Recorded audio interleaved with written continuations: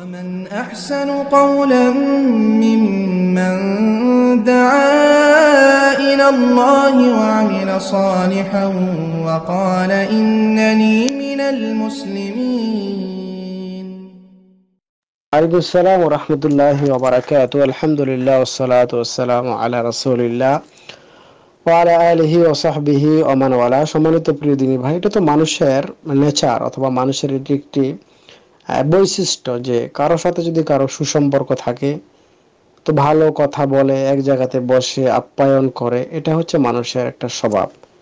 এটা স্বাভাবিক হতে পারে। তো যদি কোনো কারণ বশত সম্পর্ক বিচ্ছিন্ন করা হয়, তখন সেটাকে বাজে চোখে দেখে, অথবা তার পিছনে বদনাম করে ইত্যাদি, তার সম্পর্কে বাজে ধারণা রাখে, তো এটা রাখতে পারে বিভিন্ন কারণে। কারণ এখানে সন্তুষ্টি একমাত্র আল্লাহ সন্তুষ্টি হইতে হবে।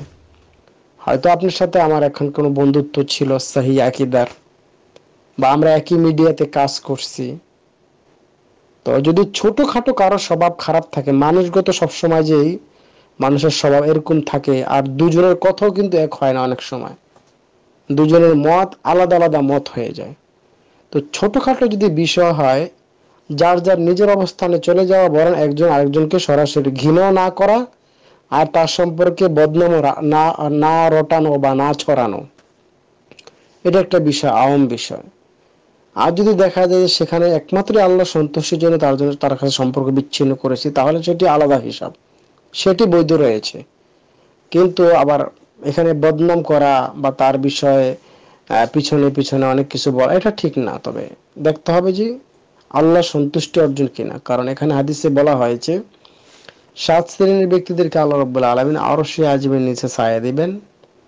তার মধ্যে এক এক শ্রেণির ব্যক্তি হচ্ছে অরজু, অরজুলানি তাহাব্বা ফিল্লাহি।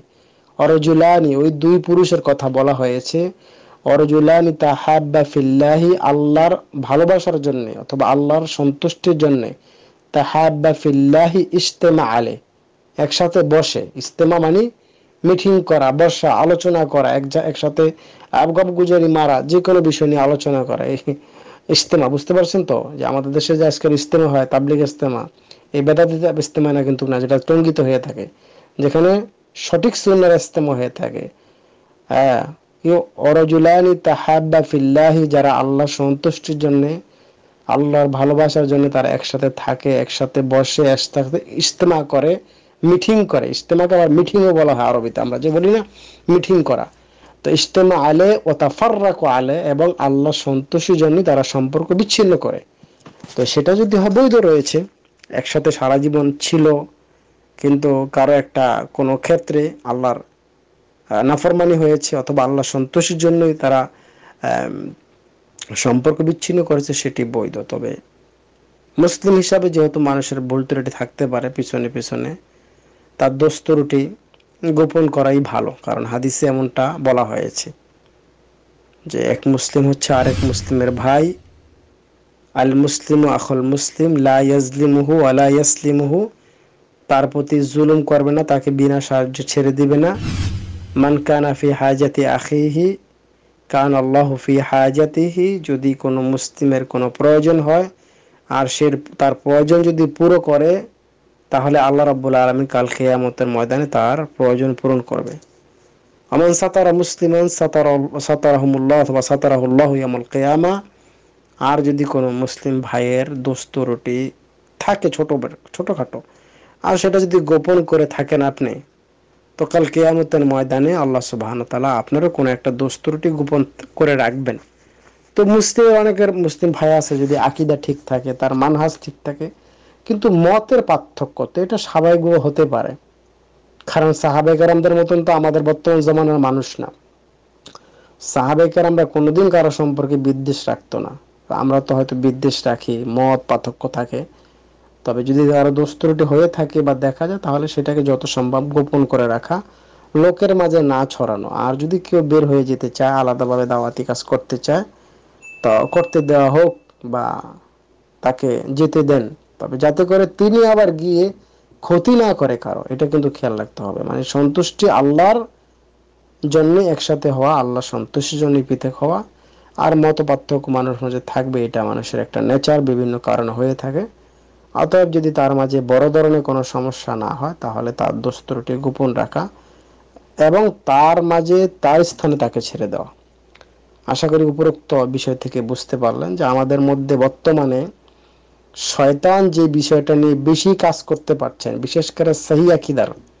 আলেমদের মধ্যে রয়েছে, সাধারণ আমাদের মতন যারা ছাত্র, তলবেল আলেম তাদের মধ্যে রয়েছে, দেখা যায়। কিন্তু এটা কারণ কি? কারণ তারা সেরেক শয়তান, তাদেরকে সেরেক করাইতে পারে না, বেদাত করাইতে পারে না, জেনার কাজ করাইতে পারে না, হারাম কাজ করাইতে পারে না। সাহি আকিদার দিনী ভাইদের মধ্যে যেটি করতে পারে সেটা হচ্ছে মত পার্থক্য। মত পার্থক্যর মাধ্যমে এই বিভিন্ন সমস্যা হচ্ছে। তো শয়তান অনেক সময় খুব সূক্ষ্মভাবে কাজ করে। তো এই জন্যে শয়তানও চিন্তা ভাবনা করল যে আসলে এদেরকে তো সেরেক বেদার দিয়ে আর কুফুরে দিয়ে করতে পারতেছি না। একজনের প্রতি আরেকজনের বিদ্বেষ সৃষ্টি করব। শয়তানের কাজ হয়েছে এটা। তো এই জন্য শয়তানকে কোনোভাবেই সুযোগ দেওয়া হবে না। শয়তান আমাদের প্রকাশ্য শত্রু। এবং গোপন শত্রু। তা আমরা সর্ব অবস্থায় আল্লাহর সন্তুষ্টির জন্য কারোর সাথে সুসম্পর্ক রাখব, আবার আল্লাহর সন্তুষ্টির জন্যই বিচ্ছিন্ন করব, আর আল্লাহর সন্তুষ্টির জন্য সুসম্পর্ক রাখা আর ভালোবাসার ব্যাপারে অনেক ফজিলতের কথা হাদিস থেকে আমরা জানতে পারি। রাসুল সাল্লাহ সাল্লাম বলেছেন আল কিয়ামতের ময়দান আল্লাহ ডেকে বলবেন, আইনাল মুতাহাবুনা বিজালালি? তারা কোথায় যারা আমার জন্য একে অন্যকে ভালোবেসেছিল।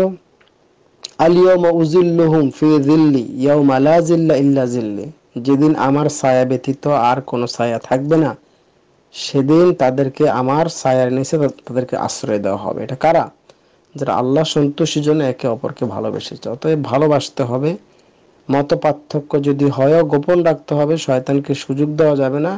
শয়তান দিনী ভাইদের মধ্যে বিভিন্ন গুণায় নালিপ্ত করতে পেরে এই মত পার্থক্যের এই ধরনের মত পার্থক্যতে লিপ্ত করছেন। এই থেকে আল্লাহ আমাদেরকে হেফাজত করুক।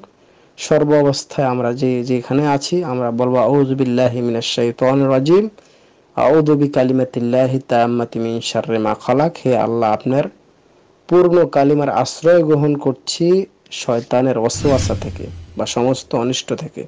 আল্লাহ আমাদেরকে হেফাজত করুন আমিন ইয়া রাব্বাল আলামিন نفسي بنور من فؤادي حينما رددت يا رب العباد وانتشت روحي وصار الدمع يجري